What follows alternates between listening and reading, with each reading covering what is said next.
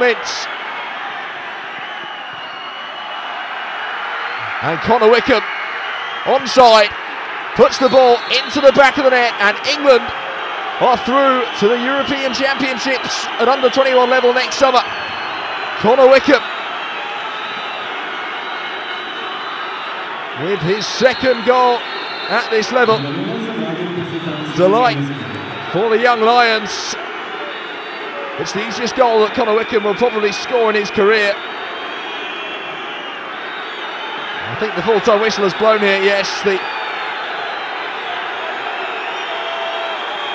hands are shaking, a little bit of afters here from the players, which no one really wants to see.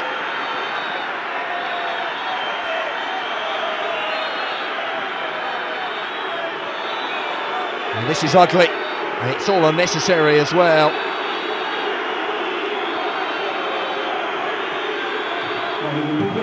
Reality is that Connor Wickham's goal means England are through 2 0 on aggregate. Not quite sure what the nature of the dispute is from England players. Everyone just needs to calm down again.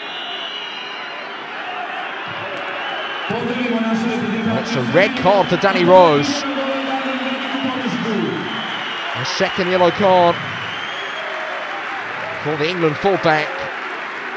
And, well, that is bad news because it means he will miss